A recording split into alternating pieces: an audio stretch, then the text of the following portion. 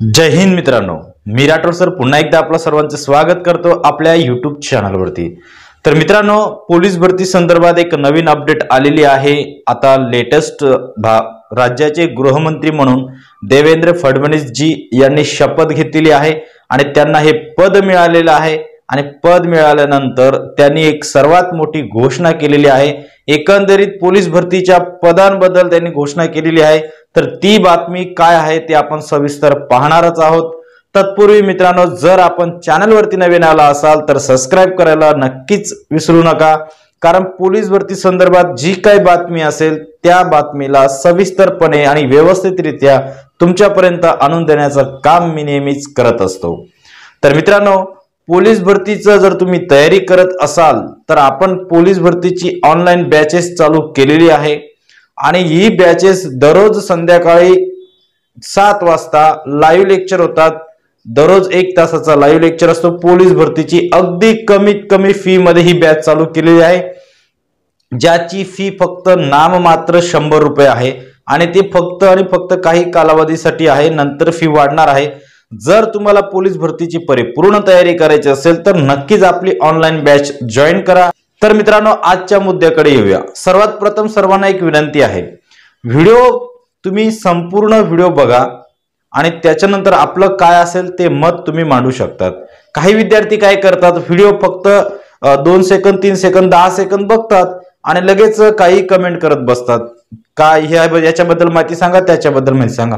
अरे बाळांनो पहिले पूर्ण बघा तर सर एक चार पाच मिनिटाचा फक्त व्हिडिओ असतो आपला. आता चार पाच मिनिटांमध्ये संपूर्ण माहिती दिलेली असते. जर तुम्ही पूर्ण बघितला तर तुमचे शंकेचे निरीक्षण तिथंच होऊन जातं. है ना? तर बघा न्यूजमध्ये बातमी आली आहे जे महाराष्ट्राचे गृहमंत्री म्हणून नवीन शपथ घेतलेली आहे देवेंद्र फडणवीसजी.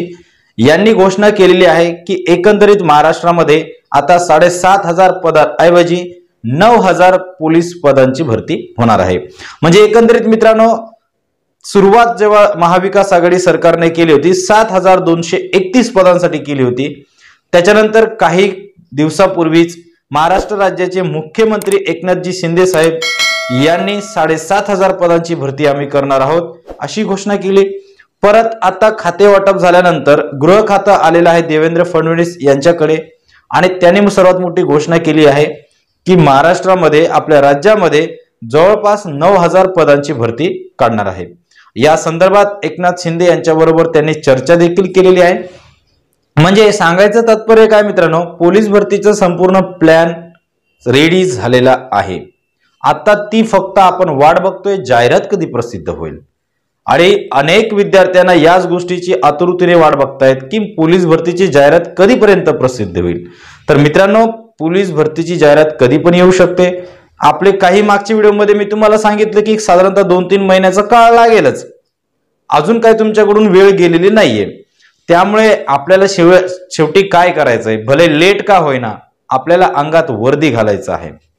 आणि एक लक्षात ठेवा मित्रांनो तुमच्या आयुष्यातील ही शेवटची पोलीस भरती आहे. हे समजून तुम्ही तयारी करा.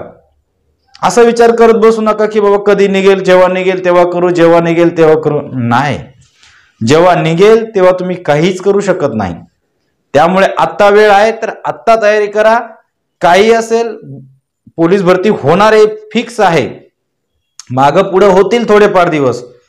कारण शेवटी सरकार चेंज होतात माइंड चेंज होतात डिसिजन चेंज होतात.